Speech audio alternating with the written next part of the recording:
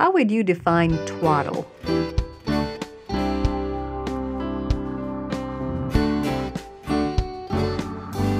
Welcome to the Simply Charlotte Mason podcast. I'm Sonya Shafer.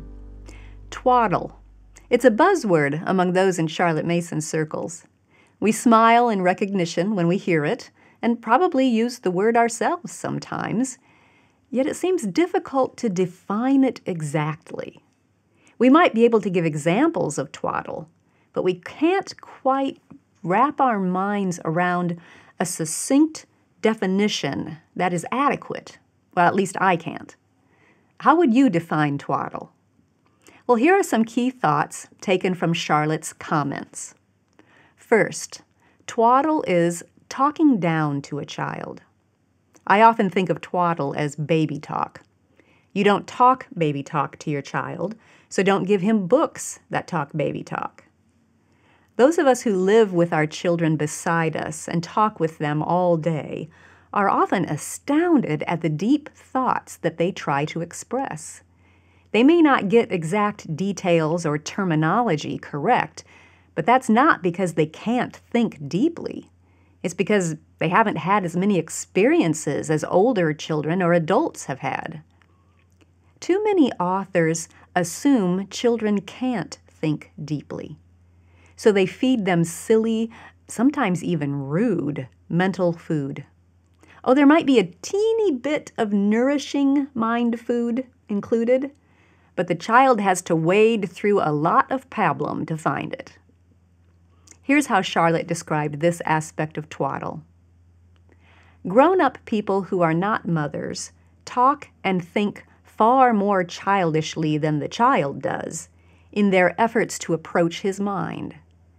If a child talk twaddle, it is because his elders are in the habit of talking twaddle to him. Leave him to himself, and his remarks are wise and sensible so far as his small experience guides him.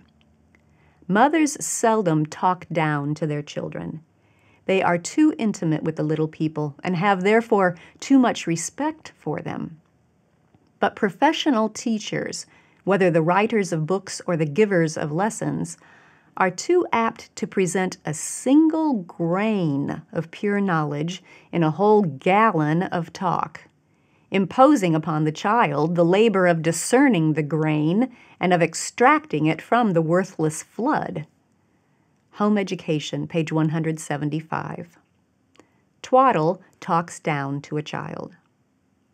Number two, another word that Charlotte used about twaddle is diluted. Many of us love our cold beverages. There's something refreshing about an ice cold beverage, especially on a hot day. But let that iced beverage sit out for a while, and what happens? The ice begins to melt and dilute that drink. You know what I'm talking about. There's a huge difference between a full strength cold beverage and a diluted one. The same is true about our children's books. There is a huge difference between a strong, well written book and one that has been watered down.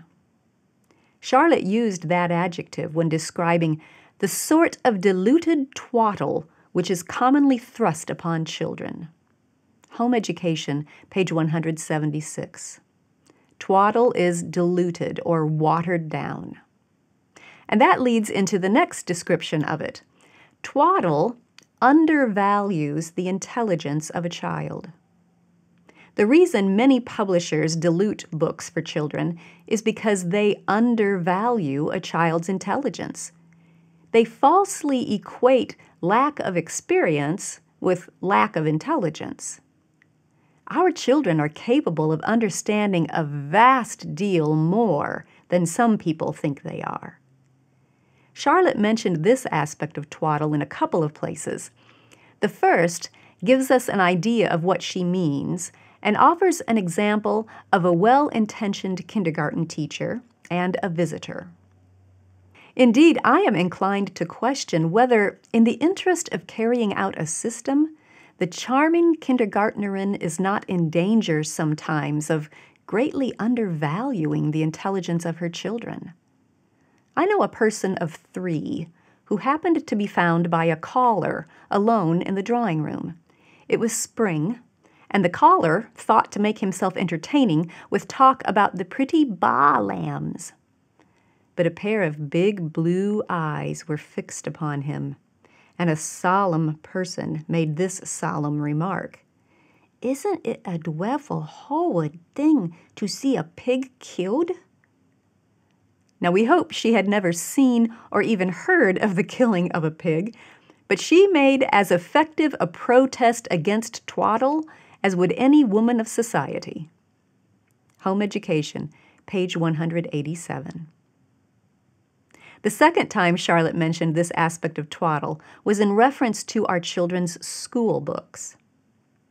I'm speaking now of his lesson books, which are all too apt to be written in a style of insufferable twaddle, probably because they are written by persons who never have chanced to meet a child. All who know children know that they do not talk twaddle and do not like it, and prefer that which appeals to their understanding. Home Education, page 229. Our children can understand a lot more than most people realize. Twaddle undervalues their intelligence. Number four, twaddle is presented as reading made easy. This is one of the reasons that Charlotte wanted the teachers to read the school books aloud to students in grades 1 through 3. The children can understand a higher level of writing than they can read for themselves at that age. Charlotte did not want to relegate them to reading made easy books with their one or two syllable words and their short, choppy sentences. She believed that even young children are capable of hearing and comprehending worthy thoughts well put and inspiring tales well told, even if they can't read them for themselves yet.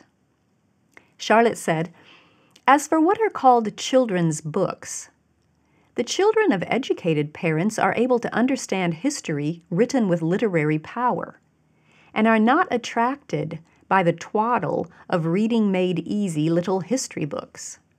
Home Education, page 281. And she insisted that children must grow up upon the best. There must never be a period in their lives when they are allowed to read or listen to twaddle or reading made easy. There is never a time when they are unequal to worthy thoughts well put, inspiring tales well told. Parents and Children, page 263. Twaddle is reading made easy. Number five, twaddle is second rate, stale, predictable writing. We've compared twaddle to a diluted beverage. Now Charlotte compared it to stale food. Have you ever bit into a stale piece of bread? Or a stale potato chip or cracker? And some of you are wrinkling your nose right now at that idea. Some books are like that experience. They use typical phrases describing all too common situations and throw in predictable emotional reactions wrapped in a formulaic plot. There isn't a shred of an original, delicious living idea in the whole thing. The intellectual life, like every manner of spiritual life, has but one food whereby it lives and grows the sustenance of living ideas. It is not possible to repeat this too often or too emphatically for perhaps we err more in this respect than any other in bringing up children. We feed them upon the white ashes out of which the last spark of the fire of original thought has long since died. We give them second rate storybooks with stale phrases, stale situations, shreds of other people's thoughts, stalest of stale sentiments. They complain that they know how the story will end. But that is not all. They know how every dreary page will unwind itself. School Education, page 121. Twaddle is stale, predictable writing. And there's another kind of writing that Charlotte highlighted as twaddle. Number six, goody goody storybooks, or highly spiced adventures of poor quality. Yes, we want to use books that support the good habits and good character that we're trying to cultivate in our children, but we must be careful of giving them goody goody books, in which the plot is simplified to present the main character as always perfect or always making the right choice. On the other hand, we must be careful of books that present constant danger and adventure. Such stories offer an emotional high to the reader. But if you look under that adrenaline rush, you find little to no substance. Now, I don't think Charlotte was saying that we shouldn't use books that present good examples or that contain adventures. I think she was cautioning us not to swing to either extreme, even if our children want those kinds of books. Here's how she put it What manner of book will find its way with upheaving effect into the mind of an intelligent boy or girl? We need not ask what the girl or boy likes. She very often likes the twaddle of goody goody storybooks. He likes condiments, highly spiced tales of adventure. We are all capable of liking mental food of a poor quality and a titillating nature. School Education, page 168.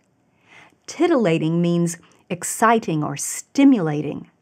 Now, some well written books are exciting and stimulating, but we need to be careful of a steady diet of poorly written books that simply offer an emotional experience. Twaddle is goody goody stories or highly spiced adventures of poor quality. Then, number seven, twaddle is also weak, light reading. Charlotte bemoaned the number of people who would spend their time reading twaddle but never open a well written book. She said, Many who would not read even a brilliant novel of a certain type sit down to read twaddle without scruple. Nothing is too scrappy, nothing is too weak to pass the time. The scraps literature of railway bookstalls is symptomatic. Formation of Character, page 214. Now, I did a little poking around to find out more about this scraps literature that was prevalent at the railway bookstalls in Charlotte's day. And here's an interesting description. It's from an article called English Railway Fiction by Agnes Repplier. It was written for The Atlantic magazine in July of 1891. Sandwiches, oranges, and penny novelettes are the three great requisites for English traveling. Well, for third class traveling at least. And of the three, the novelette is by far the most imperative. A pleasant proof of how our intellectual needs outstrip our bodily requirements. The clerks and artisans, shop girls, dressmakers, and milliners who pour into London every morning by the early trains have, each and every one, a choice specimen of penny fiction with which to beguile the short journey, and perhaps the few spare minutes of a busy day. The working man who slouches up and down the platform, waiting for the moment of departure, is absorbed in some crumpled bit of pink covered romance. The girl who lounges opposite to us in the carriage and who would be a very pretty girl in any other conceivable hat, sucks mysterious sticky lozenges and reads a story called Marriage à la Mode, or Getting into Society, which she subsequently lends to me, seeing, I think, the covetous looks I cast in its direction, and which I find gives as vivid and startling a picture of high life as one could reasonably expect for a penny. Should I fail to provide myself with one of these popular journals at the bookstall, another chance is generally afforded me before the train moves off, and I am startled out of a sleepy reverie by a small boy's thrusting a black business, alarmingly into my face, while a second diminutive lad on the platform holds out to me enticingly, fettered for life, or Naranya's revenge, or Ruby. The last has on the cover an alluring picture of a circus girl jumping through a hoop, which tempts me to the rashness of a purchase, circus riders being my literary weakness. Do you get the sense of what those scraps books were like? Do they remind you of any books you've seen lately in bookstores or online or at libraries? In Charlotte's day, a man named Charles Mudie started a lending library that grew to be very popular. He was careful not to include novels with objectionable content, but he demanded that the fiction be suited to the middle class family. And because of the popularity of his library, publishers and authors started catering to that type of light reading. What does this have to do with your child's reading habits? Well, Charlotte traced an interesting sequence that we need to be aware of. Listen to this. We do not all read scraps under whatever piquant title, but the locust swarm of this class of literature points to the small reading power amongst us. The mischief begins in the nursery. No sooner can a child read at all than hosts of friendly people show their interest in him by a present of a pretty book. A pretty book is not necessarily a picture book, but one in which the page is nicely broken up in talk or short paragraphs pretty books for the schoolroom age follow those for the nursery. And, nursery and schoolroom outgrown, we are ready for Mudie's lightest novels. The succession of pretty books never fails us. We have no time for works of any intellectual fiber. And we have no more assimilating power than has the schoolgirl who feeds upon cheesecakes. Formation of character page 214. Twaddle is weak, light reading. So, if we combine what we've found in Charlotte's words about twaddle, it is diluted writing that undervalues a child's intelligence and so talks down to him or relegates him to reading made easy content. It is second rate, weak, light reading with stale, predictable plots that can take the form of enticing goody goody stories or highly spiced adventures that cater to emotional highs. Now, if we throw in a few adjectives from modern dictionaries, we can round out our understanding even more. They say that twaddle is silly, idle, insignificant, worthless, trivial, feeble, tedious. So, Here's a challenge. How would you summarize all of those concepts into a workable, succinct definition? Can you define twaddle in one sentence? I'd love to hear your definition. You see, one of the reasons I wanted to discuss twaddle was to help us all learn how to evaluate the books and videos and other resources that we come across. It's easy to just ask someone else, hey, do you consider this twaddle? But it's more helpful to you and your family if you can develop the skill of analyzing a resource for yourself. So let's have some fun with it. Post your definition of twaddle as a comment. Now remember, we're not looking for specific titles. We're looking for definitions that will help us evaluate any title that we come across. Post your comment. How would you define twaddle? I look forward to reading your definition. See you next time.